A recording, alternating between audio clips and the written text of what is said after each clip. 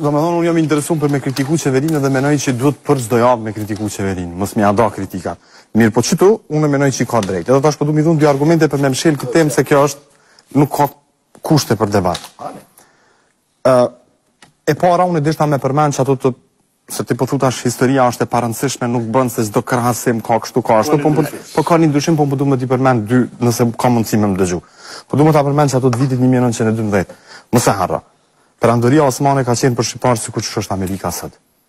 E para. E dyta, kur janë largu trupat e Perandorisë Osmane prej qitu, shqiptarët para se me u largu kanë qenë të bindur që nuk largohen.